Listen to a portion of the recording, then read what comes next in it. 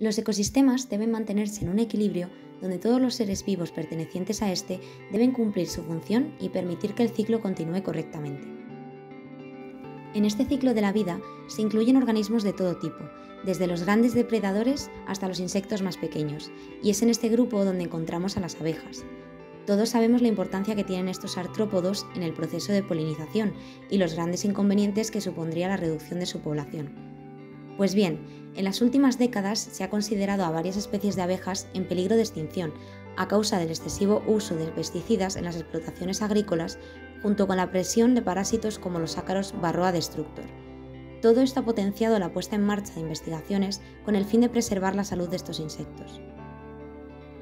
La investigación en este campo se ha centrado en la importancia e implicaciones del microbioma en la salud de las abejas. El microbioma es el conjunto de microorganismos, bacterias, virus, hongos, con sus elementos genéticos e interacciones que establecen con el medio ambiente localizados en el tracto digestivo. Las abejas melíferas, como Apis mellifera, adquieren su microbiota de la superficie de las flores durante la polinización y durante sus interacciones con otras de sus miles de compañeras en la colmena, mientras que las abejas solitarias como Osmia lignara y Anthropoda abrupta, que viven apartadas y no comparten colmena, la adquieren de su entorno durante la colecta de polen o del propio suelo o cavidades donde fabriquen sus nidos. Al igual que el caso del microbioma de humanos, se ha observado que el microbioma de las abejas, cumpliendo con sus funciones de absorción de nutrientes y protección frente a infecciones por microorganismos patógenos, influye en gran medida en la salud de sus hospedadores. This might be one of the most interesting, disturbing, and puzzling stories to come along in a long time. In early 2007, Varios apicultores a principios del 2000 registraron casos de desaparición abrupta de abejas obreras, sobre todo en Norteamérica. Este fenómeno se denominó problema de colapso de colonias y supuso un gran inconveniente, puesto que muchos cultivos se sustentan en parte gracias a la importante labor polinizadora de las abejas melíferas. El colapso de colonias ha sido investigado en profundidad y se localizó como uno de los principales causantes a los ácaros Varroa destructor, el cual transmite a las abejas el virus de las alas deformes o el virus de la parálisis aguda. Estos virus son muy dañinos para las colmenas, ya que pueden causar la muerte de las crías y abejas adultas, derivando por tanto en una caída drástica de su población. Como estrategia de control de estas epidemias y para aumentar la esperanza de vida de las abejas melíferas, varios laboratorios han centrado su atención en cómo modular ciertas bacterias de su microbioma para lograr este objetivo. Un artículo publicado en Science en 2020 mostraba la potencialidad del uso de bacterias simbiontes del intestino de las abejas que habían sido modificadas genéticamente con el fin de activar la respuesta inmune y limitar la virulencia de los patógenos que las amenazan. En este estudio se generó una bacteria intestinal de las abejas, Snodgrassella albi, con la capacidad de producir ARN de doble cadena de manera constante, lo que le permitía manipular la expresión génica del hospedador y proteger a estas abejas de patógenos y parásitos como Varroa. Este sistema se basa en la maquinaria de ARN interferente que consiste en una respuesta antiviral del sistema inmune eucariota, donde el ARN de doble cadena, tras ser procesado por la ribonucleasa Dicer y otras proteínas, se separará en dos cadenas de ARN.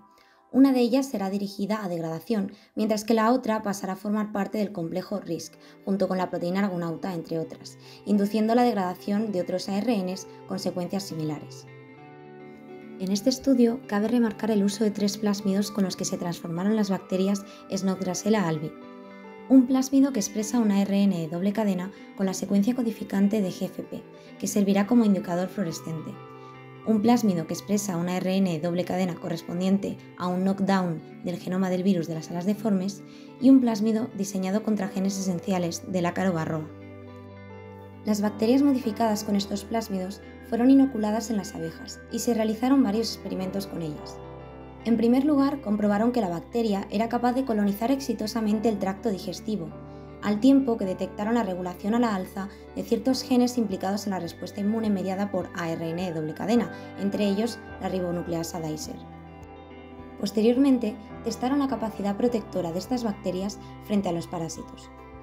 Por un lado, introdujeron bacterias que expresaban ARN de doble cadena diseñados específicamente contra secciones determinadas del genoma del virus de las alas deformes, y posteriormente inocularon oralmente a estas abejas con este virus. Los resultados fueron exitosos, puesto que indicaron que este sistema era capaz de reducir la proliferación viral y aumentar la supervivencia de estos insectos. Por otro lado, testaron la aptitud de estos simbiontes modificados para proteger a las abejas de los ácaros barroa. Estos parásitos se alimentan de los cuerpos grasos de las abejas, adquiriendo los ARN de doble cadena presentes en ellos y desencadenando su propia respuesta de ARN interferente. Por ello, en este caso, introdujeron bacterias modificadas productoras de ARN de doble cadena frente a genes de Varroa y observaron una clara disminución en la supervivencia de estos parásitos comparados con aquellos ácaros que se alimentaban de abejas sin modificar. Este estudio proporciona una nueva herramienta para profundizar en la comprensión de la biología de las abejas e incluso en la del propio microbioma humano, usándolas como modelo de estudio. A su vez, abre caminos a futuros proyectos que continuarán la búsqueda de estrategias para modular el microbioma de las abejas y así lograr una mejoría en su salud y supervivencia.